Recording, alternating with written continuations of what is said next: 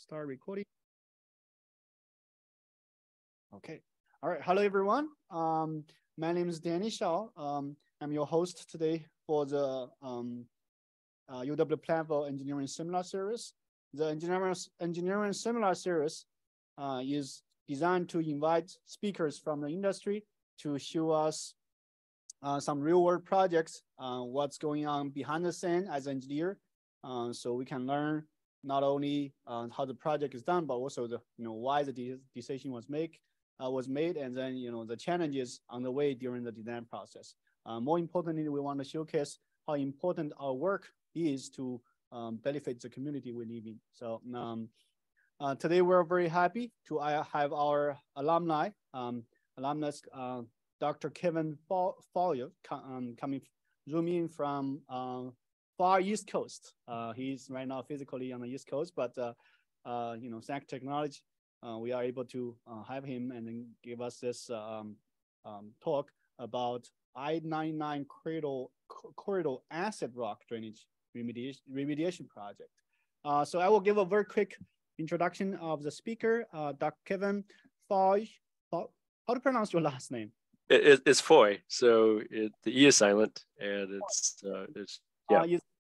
Uh, He's a cellular engineer and geotech engineering practice lead at uh, CTI and Associates, uh, where he works to address a variety of geotech geotechnical problems in solid waste and environmental remediation projects, uh, including municipal solid waste, uh, construction and demolition de debris, uh, coal combustion residues, hazardous waste, uh, low-level radioactive waste, and low-level radioactive hazardous mixed waste facilities. Uh, he has consulted to projects in Michigan, Ohio, Pennsylvania, New York, Nevada, New Mexico, Washington, Texas. Oh, too long to pronounce everything. Japan, Brazil, China, India. Uh, Dr. Foye uh, completed his PhD in civil engineering at Purdue University in 2005 uh, while researching reliability analysis for foundation and other geotechnical uh, structures. He has published more than 30 peer-reviewed publications on various geotechnical and geoenvironmental topics, and is currently serving as the secretary, secretary, of the ASCE Geo Institute uh, Geoenvironmental Committee and as associate editor for the Journal of Geotechnical and Geoenvironmental Engineering. Uh, Doug Foye was the lead engineer and project manager for CTI on this uh, project, I-99 acid rock drainage remediation project. Uh, so again, thank you for uh, come and sharing this project to us. So uh, please help me welcome our speaker. All right, Kevin. Yeah, yeah thank you. Thank you for the introduction. Can everyone hear me okay? Yep. We're good? And can you see my screen? Yes. Excellent. Okay. Yeah, so uh, I apologize in advance. I seem to have come down with some kind of cold. So if um, if I'm difficult to understand at times, that's what's going on. I, I will try to compensate. Uh, I'll just say that uh, I have a lot of slides to run through here. My main intent in putting uh, what is close to 120 different images in front of you today is to share a lot of photos of this project because it is uh, it's an extremely photogenic project and there's a lot to learn uh, in these images. So I, I, hope to share a lot of that with you. So I will be moving quick at times. Uh, and the idea is to give a flavor for the project and how some of the, the things that we learn uh, in terms of the fundamentals of geotechnical engineering were really uh, important to bring to the fore in a project that was rather unusual. So a couple of firsts with this one. This is, to my knowledge, still the largest cable supported GeoWeb uh, armor design in the world. It's about 1.4 million square feet of surface area that is covered, suspended entirely from the top. And uh, the reasons for why such a, a novel design was used in this, this situation has a lot to do with the, uh, the back and forth and the politics of the remediation of this site. And as I move through these photos, I'm going to share different parts of the project site so that you get a flavor for uh, how, how it got to be the way it is. So it's not going to be presented chronologically. I'm going to present this to you uh, sort of topically as we move from part to part of the site to see different aspects of the project. Uh, so with that, uh, there's three main areas that I'm going to talk about, the project background. We're going to spend a lot of time talking about design challenges. Actually, that, that part of this presentation is broken up in several pieces. And then uh, show a bunch of photos of what this looked like when it was actually being constructed. This is an older project of mine. This was, uh, we started doing the engineering for this in 2006. We wrapped up construction near the end of 2009. Uh, the reason I picked this one to highlight to you today is that it is is very unusual. You don't see a lot of projects like this, and I think it is a, good opportunity to share how uh, how different things are, that you learn can be applied uh, in, in, a strange, novel circumstance. So where are we talking about? So I put a star on the map uh, over southwest Wisconsin. You can see the dot uh, over to the right is where State College, Pennsylvania is located, if you're not aware. So uh, there's, there's quite a few lakes and mountains between here and there. Uh, Pennsylvania is a, a pretty uh, mountainous state in the middle, especially where we're talking about here at State College. So uh, this yellow splotch in the middle is where uh, the city of State College is located.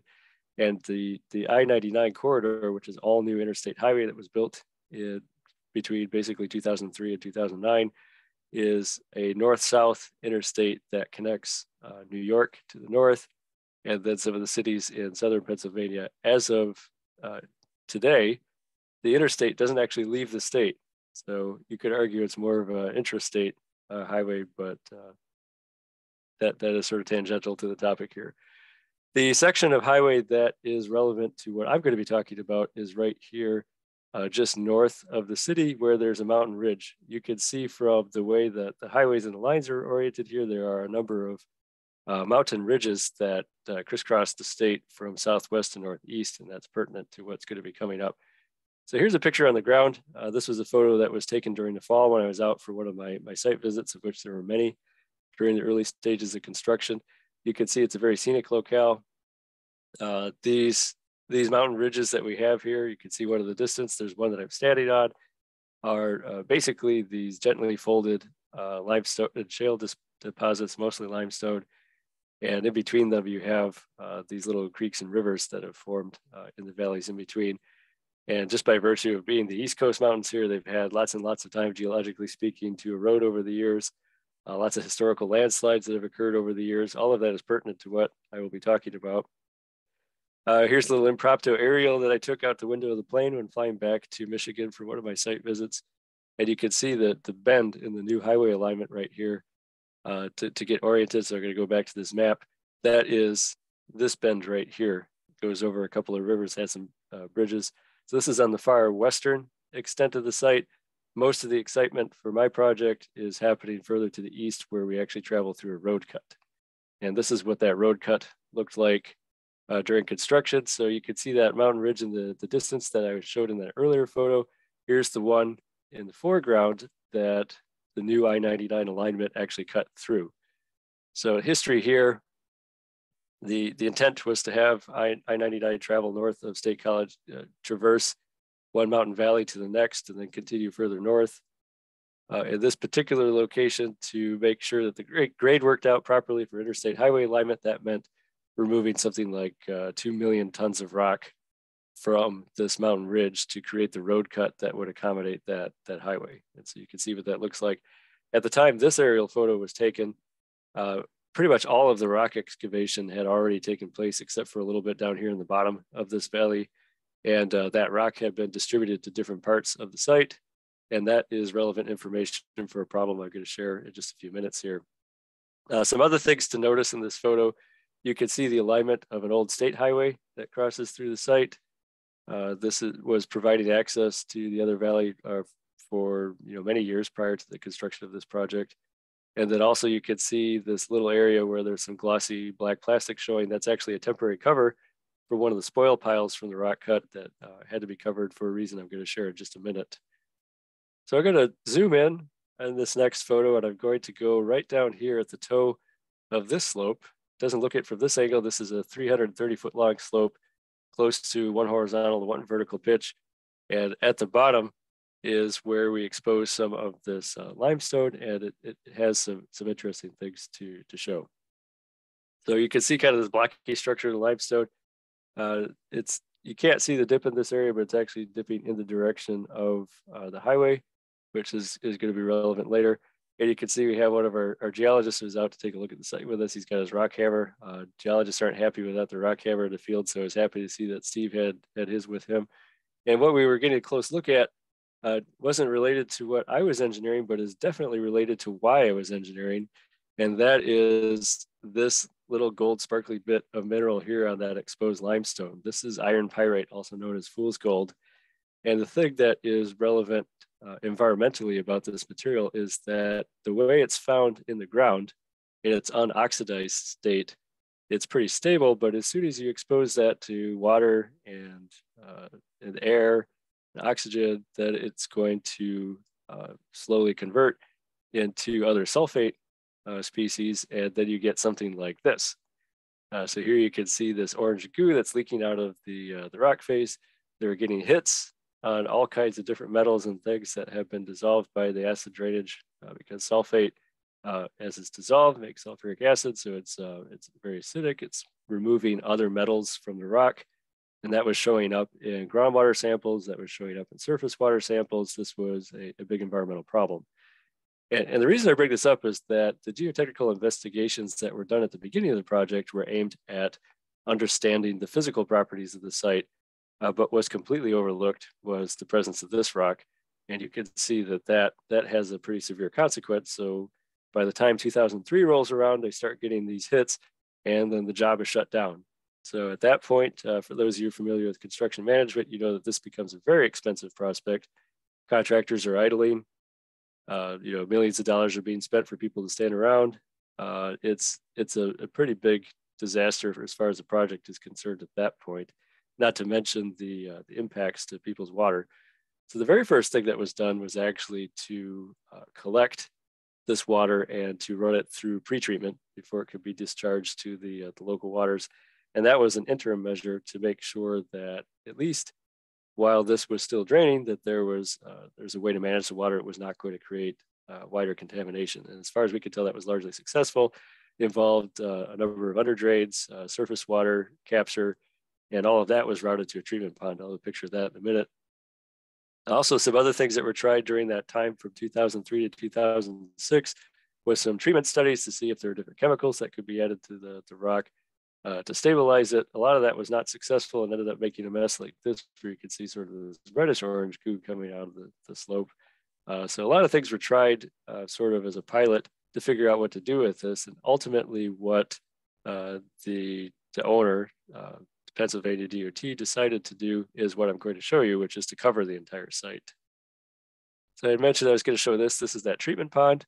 You can see the, the captured water is actually running down this cascade aerated a little bit, goes into this, this forebay, and then there's some additives uh, added to basically flocculate out those different uh, contaminant species. And then when that's done, goes into these big filter bags called geotubes. So basically a sewn up geotextile where uh, through the action of gravity and, and sometimes mechanical compaction, you get the, the clean water out, keep the flocculant in, and eventually all of these went to a landfill for final disposal. So this was going on for several years at the time that we got involved in the project, and that was the, the interim water treatment method. So here's a map of the site. And what I want to point out on this slide is these different areas. We have this orange area here is green area. It's about, uh, about five miles of alignment shown on this map. And these different highlighted areas, the green and the orange, are showing different places where either this iron pyrite bearing material was exposed as part of the rock cut, or alternatively, several places where that excess cut was placed as fill for the project. For those of you who have planned earthwork projects know that the ideal is to balance your cuts and fills. So you're using the uh, earth materials that you're excavating elsewhere in the project. This project is no exception. They tried to do that. Unfortunately, they found out after the fact that it was contaminated and it was causing a big problem. And so now you have several places around the site that are leaching this acid rock drainage. So that, that is a problem.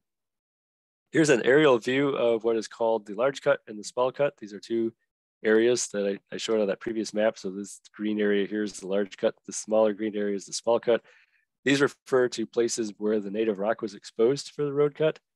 And the, the other thing that you can see in this aerial photo are these temporary stockpiles. Right here, this one is covered in plastic and this one as well, uh, to basically store that rock until it was determined what to do with it. The reason it's covered is because it was determined uh, in 2003 that it was leaching um, acid rock drainage. And at that point, it was decided to put a PVC, so polyvinyl chloride uh, cap on it. So it's a very thin layer, about uh, 40 mil thick of plastic.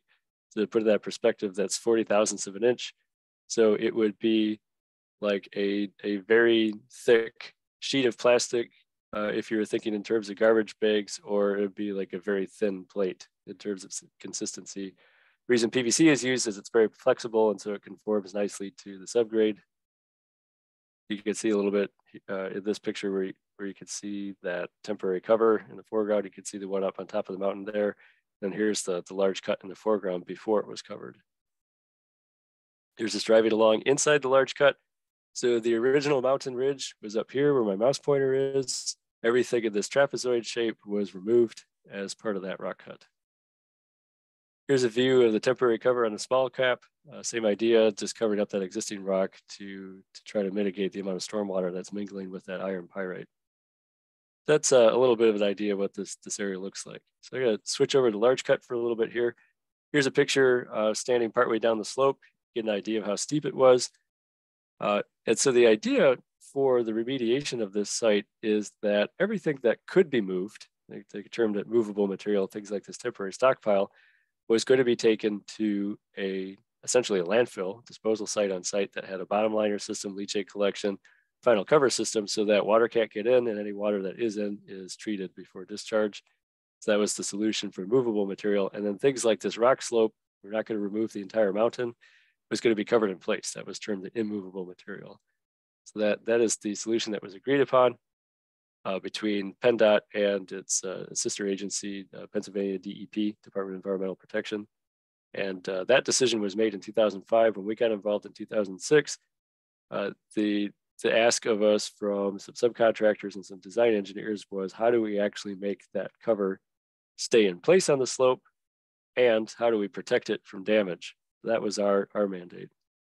So this next picture is just showing some of that movable activity going on. So this is uh, excavator loading up some off-road dumps. You can see it traversing the unopened highway. And then this is that disposal cell that I had mentioned. So about, I want to say just shy of 2 million tons of rock were destined for this site. It's built on at the toe of that mountain ridge. You can see that there's this little pristine uh, creek down here that is you know, what we're trying to protect with all of this work. And you can see over here where there's this uh, this treatment pond that was using is being used to treat leachate from the bottom of this um, this disposal cell. So the idea is that any water that would fall on this uh, this containment area when it rains would get collected at the low point that would be sent over here for treatment and then eventual discharge. So that that is the strategy. Uh, you can see over here on the right where there is the, the first layer of the soil cover going down over top of the rock.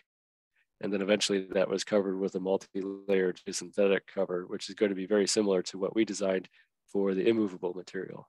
So here's just another view standing next to the highway looking down into the disposal cell. You can see this shot that there's some geomembrane, which is a impermeable plastic, which is welded together using specialty equipment to create the impermeable barrier. And then what's yet to go on top of this is the drainage sand that is used to collect uh, any water that percolates through that waste rock and take it away for pretreatment.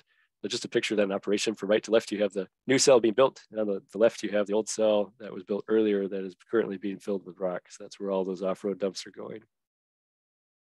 So that was all over here uh, on the far western extent of the site.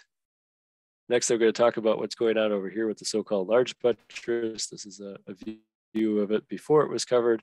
And so all of this disturbed ground that you see here, it's kind of brown and green. This is what was called the large buttress. The reason the large buttress exists is that this side of the mountain ridge had been investigated previously by a geotechnical engineer. They, they did their tests, they, they did their uh, slope stability analyses and so on and determined that you know, it would be safe to cut the slope at roughly a two horizontal to one vertical slope. But what was not apparent to said consultant in the in the boring logs and what came to light later is that the bedding planes of the limestone and shale in this area are actually all uh, directed into this cut. So where this rock was removed, all of that rock is basically teetering on this, this slope and it wants to fall in. So in the middle of construction, uh, before the acid rock drainage was discovered, this entire hillside was moving into the rock cut.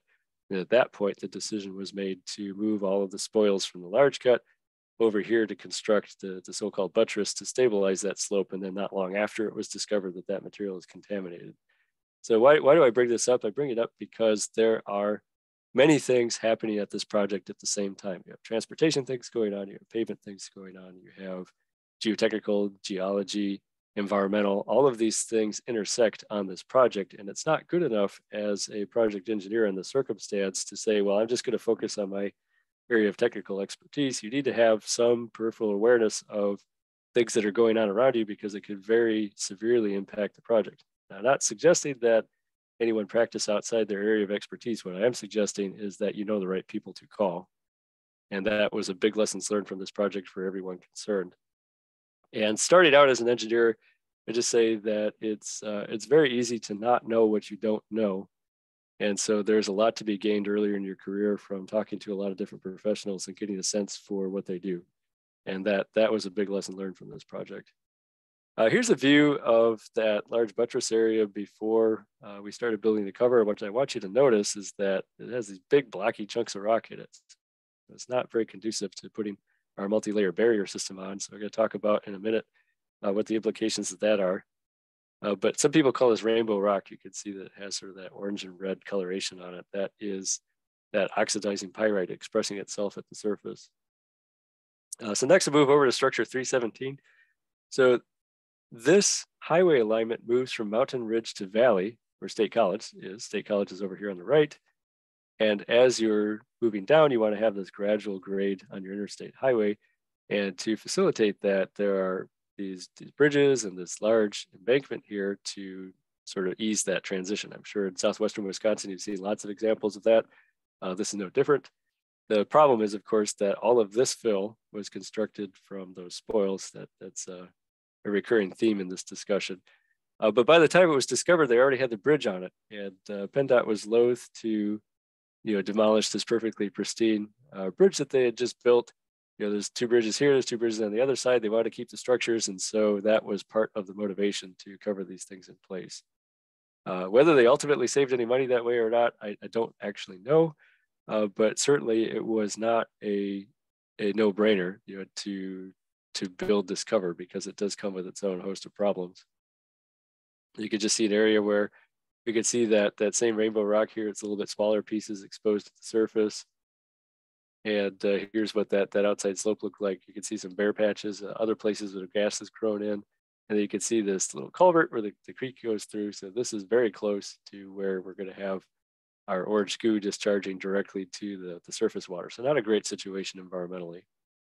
And this is another view looking at the, uh, the structure 317 area from on top of the large cut, just to give you an idea of the magnitude of this area. So the solution would be to cover all of this embankment uh, that you can see there. You got some off-road trucks uh, scale. So it's, it's uh, not a trivial sized area. So what are we trying to do with the immovable material? Uh, as I mentioned, the solution is to put an impermeable cover to keep that uh, rainwater and oxygen off of the rock so it stops oxidizing. And once we put that cover in place, we need to have a way to protect it so it continues to function. That's our second objective. And then finally, PennDOT likes to have uh, their nice finished uh, rock aggregate surfaces on everything. We need to be able to construct that as well. So we're going to do that. So I'm going to show a real quick succession here for the large buttress, what things look like before, during, and after cover construction to get you some uh, perspective on that. So again, you can see that rainbow rock at the surface and that large buttress area. You can see the natural slope up here. And then uh, in the middle of the project, we're constructing an impermeable barrier, which consists of this uh, high density polyethylene or plastic uh, geomembrane, which is that, prevents the water from seeping in. It's being seamed together when the shot was taken. And then uh, in its final configuration, we have either a grassed slope or this uh, AASHTO 57, so three quarter inch nominal stone, uh, which is filling in to create that, that final appearance. So this is what we want it to look like. Problem statement posed to us is how do we get there? Uh, so here's here's the challenge. So number one, we have to deal with that blocky rock surface. How do we put our, our delicate geomembrane on top of that? Next, how do we actually put a geomembrane on top of that slope since it's very steep? And then also because of that steepness, what do we do to armor that geomembrane in place so it doesn't get damaged by flying debris vehicles and so on? And then how do we hold all of that material in place or cover support? So uh, my boss, Tiag, he said that this is kind of like a geotechnical playground for me at the time, and he wasn't wrong. Uh, we, we brought a lot of different um, ideas to bear on these problems. And what I'm going to do in the next uh, series of photos is kind of run you through different solutions that were used to achieve those objectives in different places.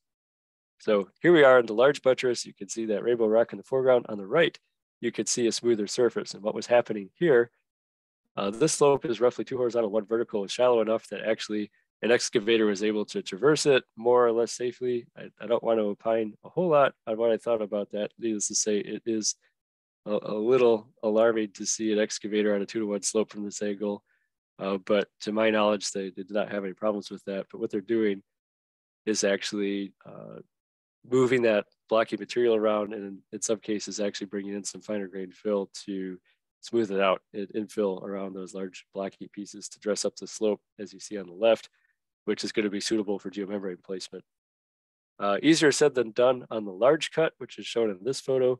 Uh, we have a mix of loose rock and then also rock outcrops, the native rock uh, that we dug into itself that are expressing as different shelves in the surface of this, this rock cut.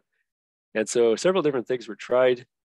Uh, you can see here's what the surface looked like kind of in the middle of the work. And uh, here's a little bit closer view to give you a better appreciation for what that blacky structure looked like. So here's one of those shelves of the native rock sticking out, and then here's some loose rock that's falling down. Uh, they tried, you know, this drag line. You can see the cable there. They're trying to knock down some of the loose rock. Uh, we actually went out at one point and we laser scanned the entire surface to try to figure out where all the rock protrusions are. We mapped and figured out where high points and low points are to try to give some direction to the contractor where they could smooth. Uh, here you can see, you know, very privately a, couple of those rock shelves expressing again. Uh, so it's it's just a really big challenge. Ultimately, what they ended up doing is taking this little excavator here, known as a spider, on account of its legs, and it was uh, basically secured uh, for safety purposes by a steel cable that went up to the surface and was anchored at a, at a bulldozer at the crest of the slope and the, this spider would traverse up and down the slope and would knock down the loose parts and fill in the, uh, the low points to create that smooth surface. And this was sort of a painstaking process, but ultimately was uh, was the only way the contractor really could figure out how to do that. Uh, so that that is a picture of that in progress. Uh, other things that were done. This is a picture of the uh, small cut area. You could see that this is where the temporary cover is located. You can see these protrusions sticking up through it. We actually went over this with several layers of a very thick non-woven geotextile. Non-woven geotextiles, for folks who haven't seen them, are like a really thick felt. It's a plastic felt. And that would cushion these little protrusions so that they would be less likely to poke up through our geomembrane. Uh, here you can see a view from the top, kind of in the middle of this, uh, this activity of smoothing off the surface. And uh, this is what it looked like when it was all done.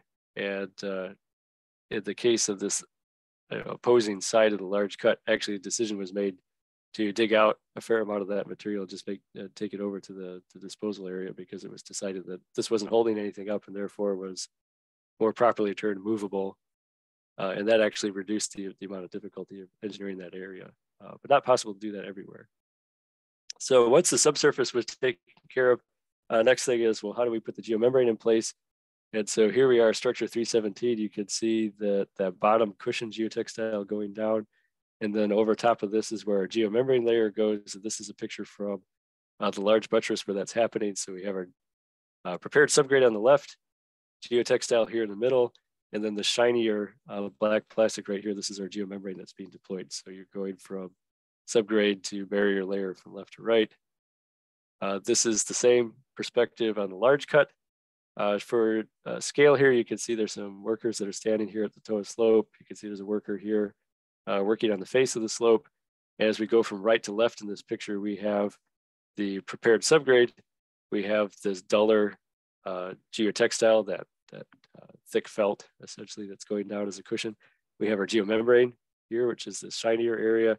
And then we have our top cushion, which is the geotextile. The reason behind the, top cushion is the very same as the bottom when we put that uh, 57 stone that I mentioned earlier on top of this barrier layer, we want to make sure that those rocks are not protruding down into our geomembrane.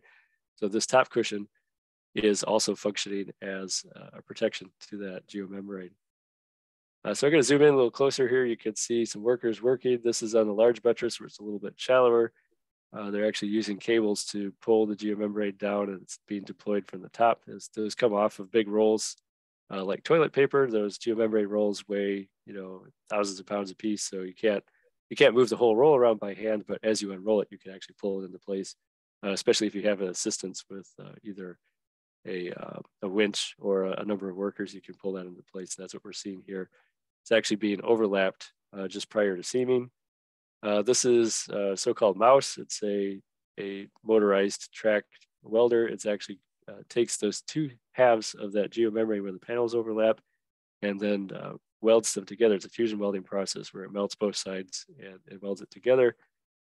Uh, this is a air channel testing, which is a quality assurance uh, technique that we use on geomembrane seams. So the idea with this is that there's a little air channel that's created by that welder. We pressurize it and we measure to see once it's pressurized if there's any drop in pressure. If we don't see a drop in pressure, that means that that channel is contiguous, which doesn't tell you how strong it is, but it does tell you whether or not the weld was completed from end to end. So it's a, a so-called continuity check. Uh, here's some extrusion welding going on. We use this a lot where we have penetration. So I'll talk in a minute what these H piles are doing there, but uh, needless to say, we wanted to make sure that it was watertight around those. And so there's a, a, penetration. We have this little patch that goes around that penetration. And that patch is secured uh, watertight to the, the geomembrane using uh, extrusion welding, which is putting a bead of molten uh, high, density polyethylene around that to secure it together. And then you can see in this picture uh, where there's a penetration where there's a monitoring well casing, you can see it's soapy. That soap is from the so-called vacuum box testing where we, we put soapy water down and we put a vacuum on this clear uh, gasketed box to see if any bubbles come up. If there's bubbles, that means that air is able to travel through the seam from the bottom, which means there's a gap somewhere. So this is another quality control technique to test for uh, continuity of the seam. Something we do all the time in landfill engineering, not something you typically see in a highway site. So there was a lot of education to bring uh, the folks at PennDOT up to speed on why this was important, why we were doing it. And all of this boils down to making sure that that impermeable barrier layer does in fact keep the water out, which is the whole point of this exercise. Some other penetrations, there's a stormwater drains out there. Here you can see there's a boot. So there's a, another kind of patch for this uh, penetration. This is one of the under drains that manages the iron pyrite runoff, the acid rock drainage from underneath the geomembrane. That's still going to be collected and treated, but that attenuates over time as less and less water finds its way into the site. So here's a picture of the large buttress. So it's partially covered. You can see our geomembrane here. You can see our geotextile at the bottom. And then we went through winter season. We came back and we finished it. This aerial photo was taken uh, in the spring when uh, the contractor has finished up the construction of that cover. And uh, that, that is the general sequence with the barrier layer. So let's talk about protective layer for a moment. So the idea when we're all done is we want to have this nice stone surface so that when you know truck tires blow up and go flying off the road or uh, debris gets kicked off the highway and flies into the slope, that it's not going to puncture that geomembrane. And so for that, we have a relatively thin layer of that 57 limestone rock, about four inches thick of that three inch quarter, uh, or sorry, three quarter inch nominal stone that goes into or goes onto the slope. But the question is, how do you keep it there? Or alternatively, uh, for this vegetated soil, it's also similarly thin layer of soil that goes over our barrier layer. How do we hold that in place? And what we're trying to avoid is something like this, right? Where it rains and it uh, washes out our cover uh, from on top of our barrier layers. You see the barrier underneath, see the, the grass and soil. We, we don't want this to happen. So how do we make sure that doesn't happen? Uh, two different strategies were used. The first, and this was used everywhere, is to have uh, this erosion control product is called a geocell, which is this expanded plastic mesh four inches deep that is used to hold all of the stone and, or soil in place on the slope. It has hole, holes in it so that water can move through it. Uh, and then in the case of this picture, actually has a geogrid underneath to provide that structural support. But the question is like, how do we make sure that the stone that's inside this geocell stays where it's supposed to? So in some places, we use these stainless steel cables with copper stops a typical panel that measured 17 feet long and seven feet wide might have something like 50 of these stops in it to provide the mechanical connection between this expanded plastic geocell and the, the stainless steel cable. So in other words, gravity's trying to pull the rock down, GeoWeb resists that, the GeoWeb transfers that force to the stop sleeve, which transfers the force to the, the stainless steel cable. stainless steel cable has many, many, many of those stop sleeves. Here You can see markings where they go.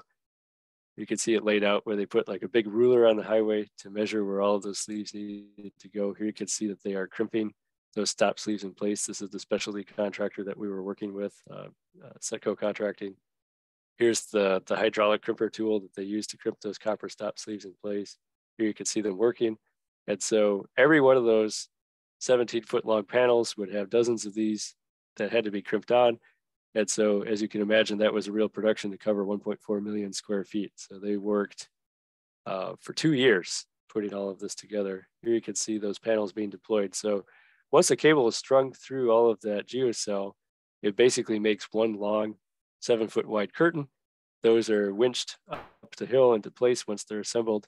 And if you look closely, you can see that those cables that are holding everything up are actually visible as these light colored striations in the geocell. And of course, we have the regular pattern of the geocell here. The panels edge to edge are connected with zip ties and the structural support is provided by those stainless steel cables. So here's here's that view where we have the uh, geotextile in place. Here you can see they're pulling that geocell. Here's the geocell that's been pulled up into place on the slope. And again, you can see those uh, light colored cables that are running through the geocell. So that was one strategy. Uh, other strategy was to put geogrid underneath the geocell. And so the, the idea here is a little different. So instead of having the load transfer through the geocell to the cables, now we have the act of the stone trying to slide down the hill against this geogrid uh, being uh, held in place by the grid. So it's a frictional interface at the bottom. Uh, the stone wants to slide over the grid, the grid won't let it. And so that is what we use to hold it in place. Because of the kinds of forces involved with the longer slopes, the geogrid wasn't really viable for our taller slopes, but it was perfectly fine for some of our shorter slopes, which uh, includes this area. This was a T54 area. Here's a view of what that looked like going in the top of the median. Uh, so you can see this our anchor zone where it's flat. A few more words on that in a minute. And you can see the slope here on the right. And then here's a close-up view of what that looked like when it was all stacked together. So our barrier is hidden underneath. We have our geogrid, which is providing our structural support. We have our geocell, which is providing our erosion control. And we have that uh, three quarter inch nominal stone, that, uh, that crushed aggregate that is going in the geocell that is interlocked. You can see where it all spills in around the geogrid underneath to hold everything together. So that's what the, the complete sandwich looks like. All right, so how do we hold all of that in place?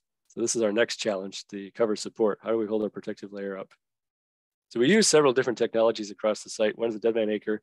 So in this case, we have our stainless steel cables that come up to the top of the slope. They turn over the crest and are terminated with a mechanical connection in a big concrete block.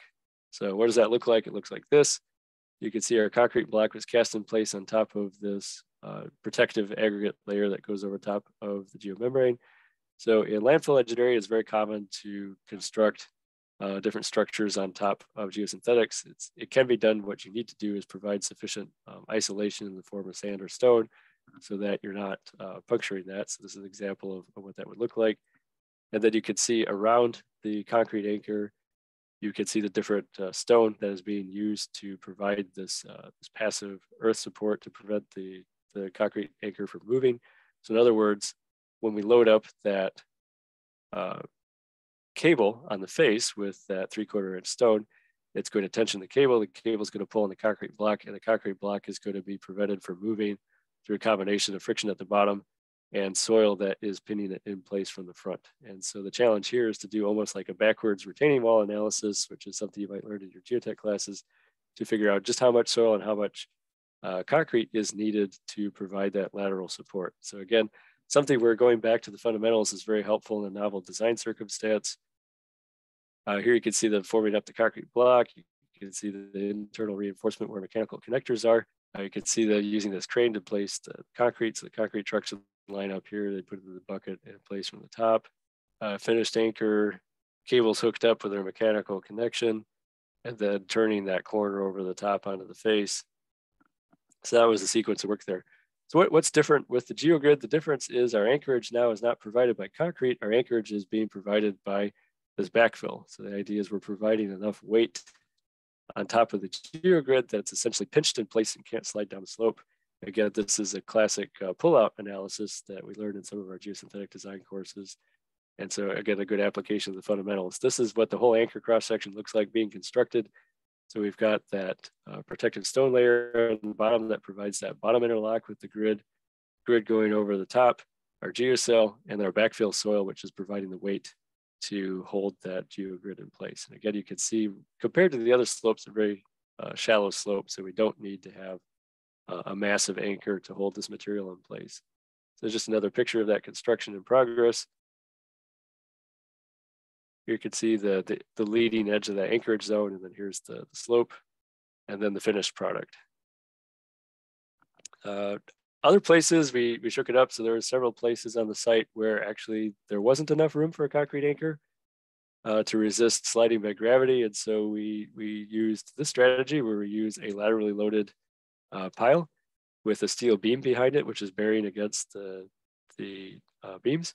So this would be very similar to the kind of design process that you would go through for designing a, uh, a, a, soldier pile and lagging wall, just that instead of having soldier pile and lagging, you have these isolated uh, steel piles that are providing the lateral support to this beam. So very similar math, just a novel um, application. I showed you that picture earlier with the penetrations. This is why they're there. So each of these piles are going about 30 feet into the ground and they will have these uh, steel beams put behind them. So here's a picture with the beams. And uh, oh, I don't have a good shot of this. I'll show you another shot in a second where the, uh, the cable's wrapped around it. But the idea is that those beams get placed behind the piles. We wrap the steel cables around it and that the beam is not able to move towards the face because it's held in place by these laterally loaded piles. Laterally loaded piles are not able to move because they're embedded in the soil and rock, uh, which is a classic uh, you know, uh, horizontal loading on a pile uh, deformation analysis. We used uh, used kind of an adjusted PY method for this, which I, I don't think is something you would encounter in undergrad um, uh, pile analysis. It might be wrong, uh, but that is is definitely a good thing to know in this circumstance because uh, that is where the entirety of our support is coming from. Here you can see that bench where the beam is going to go. Here's the beam. And then when it's all backfilled and grouted in place, this is what it looked like as a finished product. So uh, last technique to hold everything in place, instead of having the piles, we had a little bit more room to work with up on top of the large cut. And so we actually used a series of ground anchors, in this case about 30 foot long rods that went back into the soil and rock, were grouted in place into the rock. And those resist the tension of the cables directly. So the cables turn the corner over the top of the slope. They're terminated around this beam. So the cable, as it's trying to pull down the slope, is pulling on the beam. The beam is pulling on these soil nails, which are these, these grouted steel rods in the ground. And those are resisting the movement uh, through their connection through that grout with the soil and rock. And so it's what exactly what it sounds like. We're resisting through pull out, meaning the forces that the soil and the grout generate to prevent that steel anchor from getting yanked out of the ground by that structural force. Here's a shot of what those looked like uh, after the anchors were installed, but before the cables. There's a picture of a soil uh, you know, passive soil anchor rig doing its work. So this is an angle drilling technique. These get used for tiebacks on uh, uh, soldier pile and lagging walls all the time. Uh, so that is a technique uh, that geotechnical engineers are familiar with, just a, a little bit unusual application. Uh, so the thing that is the difference between a soil nail and like a tieback on a retaining wall is that we didn't uh, pre-tension these and lock it off like you would on a retaining wall.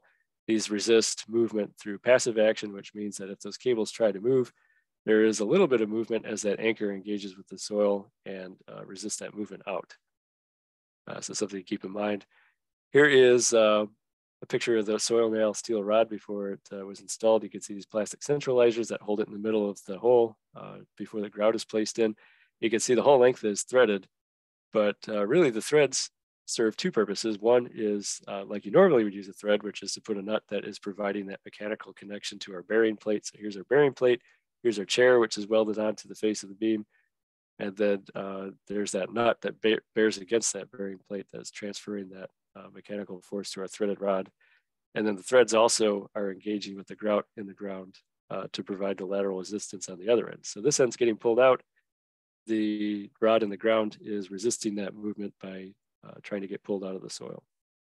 So that's cover support. So next I have uh, a few photos showing some of this in progress. I'm gonna move through these pretty quickly because I wanna get to your questions.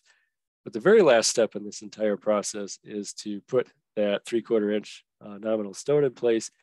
And what you can see in this picture way at the top of the screen is actually a one of those chutes that that uh, conveyor driven chute that is actually shooting the stone out of a hopper onto the, uh, the, the slope face. You can see in this picture a little bit better uh, where that's raining down. So there are several places where uh, this was able to reach everywhere on the slope and just kind of rain that, that stone down into place. But there were also a number of places where the slope was too long and they would actually use uh, little pieces of scrap geomembrane as like a chute to uh, let that rock slide down into place. And then there would be people, you can see a rake here, workers that would go down and then rake that, that, soil, uh, that uh, stone into place. Uh, you can imagine there's a little bit of a sequence issue there, right? You don't want your workers raking the stone in at the same time as the stone is flying through the air. Three quarter inch stone is going to do some damage. So there's definitely some coordination to go uh, to be done there. So you can see there's stone being deployed over here. Uh, worker with a rake here. I'm not sure that the exact sequence that you're seeing in this slide is something that would fly uh, 20 years hence. Uh, so just want to highlight that for you that uh, may, may need to be a modified procedure there. Here you can see the really long chute uh, dropping that stone onto the large cut face. This is what the large cut face looked like uh, during the middle of that process. And then here is a, a picture of what the finished stone face looked like when everything was filled in. So to the you know casual motorist, no real difference here between what you would see looking out the window on any other Pennsylvania highway and what's happening in this covered area because they use the same gray three quarter inch stone everywhere. Uh, but we know that the, the barrier layer is underneath. And in fact, uh, over time, as some of that stone uh, shifts around, occasionally you'll see bits of geoweb peeking out uh, that will occasionally get backfilled.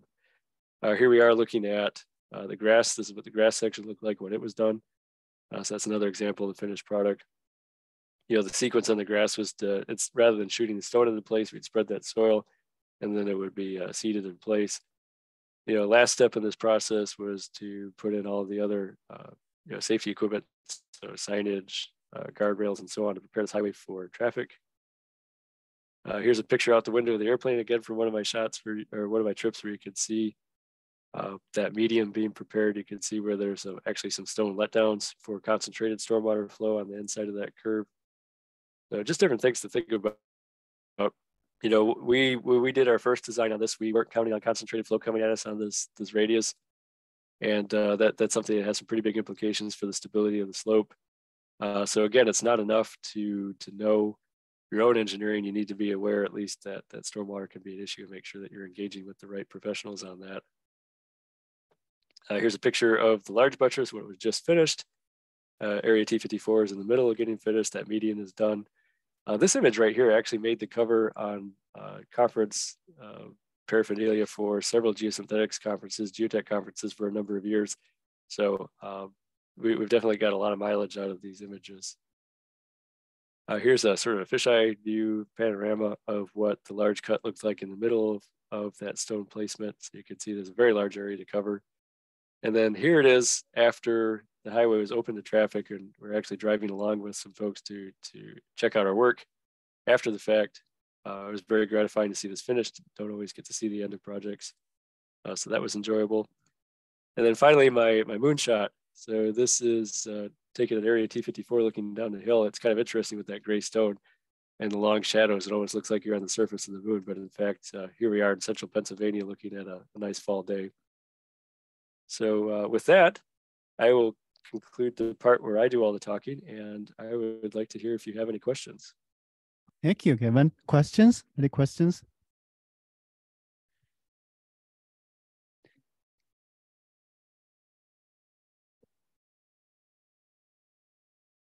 Yeah, I think the question is how how the stone was placed, and then it's answered already.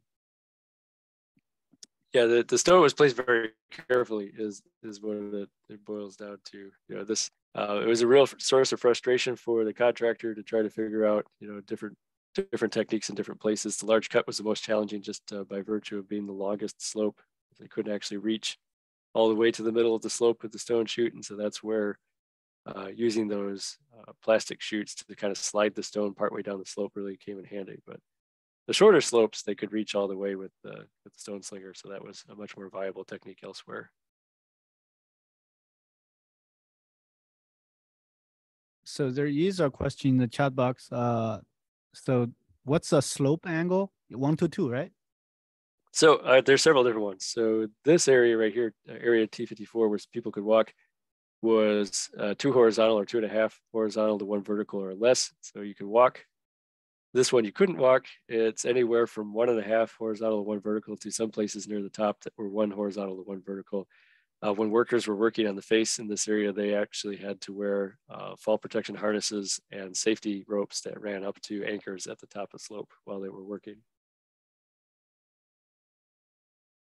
So it didn't appear there they used textured geomembrane, so confirm the laboratory interface friction tests provided adequate friction against slope failure. So yeah, it's a great it's a great question. So this actually gets at a lot of the math behind this design. So it is a textured geomembrane. It's just kind of hard to see. Uh, so you can kind of see where the dirt is kind of working its way into the asperities on this geomembrane. Let's see if I can find a closer shot of it.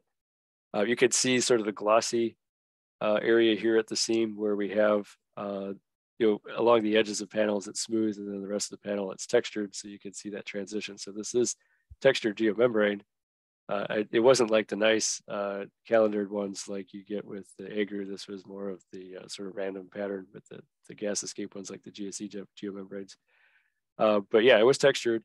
And what we determined through uh, the calculations is that the interface friction through the geomembrane could provide partial support against sliding, but not complete support. And so the deficit in support was made up through the combination of the geocell and cables in the case of the slope. And that's an interesting challenge because you have uh, a strain compatibility issue here. It actually takes quite a bit of movement for that geocell to start um, stretching and generating reaction. It takes quite a bit of deformation for those steel cables to stretch and generate reaction. And so by the time we get the full reaction force out of our stainless steel cables in our geocell, we've actually slid quite a bit of distance over that that geomembrane. And so we were using the large displacement values for interface friction for the, the frictional component of that resistance. And then we were using sort of a penalized uh, uh, resistance to sliding through the tension of the cables. So it's a great question. So you mentioned about the project, the, the issue happened, was discovered in 2003, and then you guys were called in like 2005, something like that. And then when did finally the construction finished. Yeah, so construction was wrapped up at the end of 2009 uh, when this was done. So you're you're looking at almost a 10 year process from when this project kicked off to when they actually got it to the point where uh, you could walk away from it, say that it's a complete highway project. So it was the the local uh, division office's headache for quite a while, and there's quite a few people that retired from this project. Because you know, if there if there was no such issue, probably the whole section of the highway was done maybe you know five years earlier. Can I That's right. That? That's exactly right. So like the whole stretch of the interstate, other sections were done, and then this little little piece couldn't be finished because of this this environmental issue, and then they have to wait for another five years to open the whole project. Yeah, yeah, that's a good point. So if I go back to my map at the beginning, my big map of Pennsylvania, you could actually see that see if I can find this real quick. So you can see the dashed line here, right? So at the time that we got involved in the project, the published maps of the highway system in Pennsylvania showed this particular stretch of I-99 is under construction. But the other parts, you see I-80 where I-99 and 80 meet up, in I-99 where it's on its own alignment to the south, were actually completed. And what would happen is when you get to that part, there'd be some concrete barriers and you'd be directed to exit and then you'd have to continue your journey on uh, US 220 to meet up with the highway over here on the west side of State College. And that's actually where that, that this crossover right here is. This is US 220 coming through. And then there, there is a question from the chat box. What was the final project cost? So this is uh, this is a hard number to put your finger on. We know that the overall project for I-99 was something like $700 million for this stretch of highway. Of that, there is speculation that as much as 200 million was involved in the acid rock drainage remediation. Uh, but that's a difficult number to wheedle out because some of those those numbers are sort of intertwined with the other construction activity. The same GC was in charge of the remediation as was in charge of the highway construction. And so, uh, you know, a lot of those dollars were going to the same same destination. They did hire a specialty sub to do the, the barrier components and the, uh, the geocell components. So we have an idea of that. Uh, I, I want to say that part was on the order of like uh, 60, 70 million, something like that. So it has been done almost 13 years now. Have you had chance to go back and see how it's performing right now? I got out there a couple of years after it was completed. I haven't been out uh, in the decades since. However, if you go on Google Map and look at it, you can see that it pretty much looks the same as what I showed in my finished picture there. There's just a few places on the uh, the large cut where you can see that geocell kind of peeking out at the top where some stone is kind of rolled down out of the geocells a little bit. Um, so yeah, it, it appears to be doing well. One thing that happened early on in the life of the project is that as the geocell and the cables were developing tension, they actually kind of bunched up at the toe of slope. And there are several places where uh, those protective armor sections were cut away uh, to remove that bunch at the bottom. So it's something that was anticipated by the calculations, but we got to see uh, kind of in real time what the actual uh, physical implications of that were. Has PennDOT had any problems with um, car accidents or vehicular accidents puncturing the uh, impermeable membrane? To my knowledge, they haven't, and a lot of that is because of precautions. So one of the things that PennDOT did early on was to put uh, concrete barriers at the toe of slope along here so that if a vehicle does go off, it's going to strike the barrier and not necessarily dig into that, that geocell at the toe. Um, it isn't hard to imagine that you could get a pretty big collision that would puncture that. So I wouldn't be surprised if they have. I'm just not aware of one. And one of the things that we had to do with this project is to leave a big manual behind that explains where all the pieces are, how do you install spare parts, uh, what is required to patch the geomembrane, patch the geotextile, patch the geocell uh, in the event that future maintenance is needed. So that, that was definitely part of our mandate to provide that information. So you presented a couple of different ways to anchor them. So if you look back again, you know, what would you recommend? Do you do you have one that's you think the most cost effective one, or they are like pretty close to each other? That's a great question. So I I would say if you are stuck with the solution installing a geomembrane barrier layer on a steep slope, then that tieback that we came up with on the large cut slope is probably one of the more economical ones because those those go in very quickly. It doesn't require a lot of material. Uh, the steel steel beams fabricated up relatively quickly. That that was relatively cost effective. The cast in place concrete anchor uh, was very expensive and, and, probably not the best. Uh, but taking a step further back, is the impermeable cover over the entire rock face the right solution?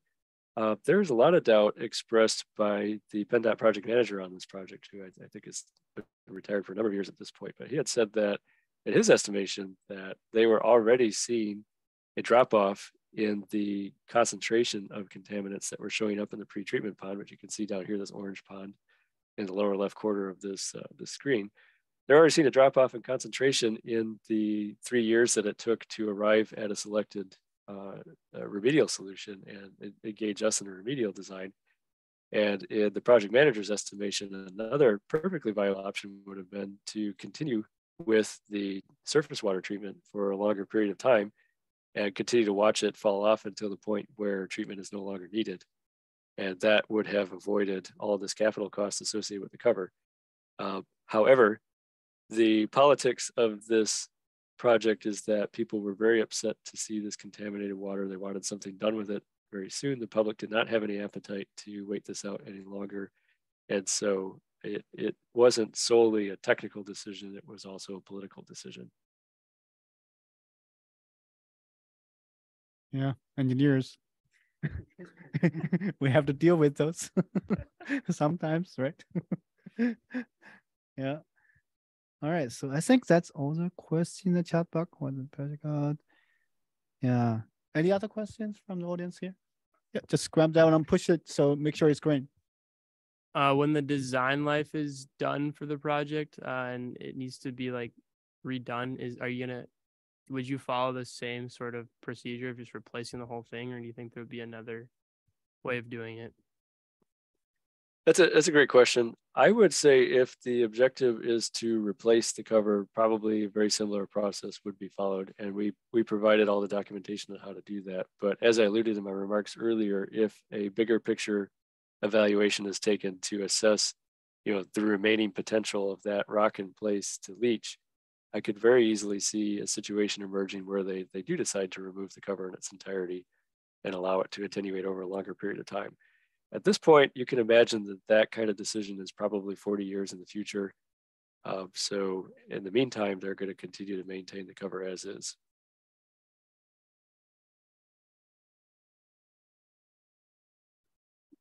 So there's a question, uh, did the DOT um, policy change after this, you know, project because of the extra, you know, time and the cost? So the policy changed to like, okay, in the future, when we do any uh, geotech exploration, we have to make, we have to look at not only the strengths engineering wise, but also environmental wise, so we can avoid such situations in the future? That's a great question. Uh, so I don't work with PennDOT a lot, so I don't know if their policy changed, but I do know the awareness in the department changed dramatically after this. So shortly after we worked on this project, we were actually called in to take a look at a slope along I-70 in Pittsburgh, where they had uh, this this tar oozing out of the slope uh, because of this old manufactured gas plant that was uh, located underneath the alignment of the highway. And previously, uh, that kind of event probably wouldn't have been given much thought. Uh, but after all of the bad publicity that PennDOT received for the acid rock drainage at this site, uh, the local district managers were like, "We we should probably do something about this before it becomes an issue. Let's let's find out who we can talk to." Uh, I think ultimately they didn't end up doing a cover system for that project, so we, our participation kind of ended at that point. But uh, yeah, definitely as far as district personnel are concerned, there was a raised awareness as to whether that translated into policy changes or not. I can't say. So I've worked on vertical construction um, last summer for a larger uh, GC, and I know that air and vapor barriers have a sort of UV shelf life um, where they can only sit in like a UV exposed setting for 12 months, did your impermeable barriers or any of your geotextiles have uh, such a UV half life or shelf life? Yeah, that's a that's a great point. So let me switch back to this. I know you said that the geotextiles uh, it took them for like the geocells, it took them like two years to install some of those. So the impermeable layers would have been sitting exposed for a while. Yeah, that's a great point. So let me let me switch back to this image. So uh, the non-woven geotextile has a relatively short exposure lifetime. So you, if you leave this out uh, in the sun, it will begin to lose strength and in some cases, severe cases with prolonged UV exposure actually turn into powder. And so the non-woven geotextile definitely has that shelf life. The manufacturers don't like to see it out in the sun for more than 30 days. Uh, the real number varies depending on where you're located, you know, how much solar radiance you get, uh, how intense the, the UV light is during that time. Uh, but yeah, geotextile definitely has that, that problem. Uh, geomembrane does not. Uh, because it has a contiguous uh, sort of molecular chain over the surface, you almost end up with what I'll call a sacrificial layer of polymer at the surface that takes the hit for the, the UV. But there's been a lot of studies done on this to show that that UV doesn't penetrate more than a, a tiny bit into that plastic. And so it doesn't change the bulk properties of the geomembrane. And in fact, uh, the Geosynthetic Research Institute has had under intense UV light a sample of an older formulation geomembrane that's been in place for decades. And uh, it's been a constant high intensity UV exposure. It is still chugging along, showing a pretty good fraction of its strength, even under that kind of UV light. And keep in mind that this got covered uh, within months after that. So the, the thing that you brought up, the shelf life of geotextiles, is actually why me go back to my, my snowy picture here. This is why between seasons, we had the geomembrane exposed at the surface and not the geotextile so that we wouldn't have that contiguous exposure. So as soon as that top geotextile cushion layer went down, that's when the clock started ticking where the geoweb had to get in place and the stone had to be placed.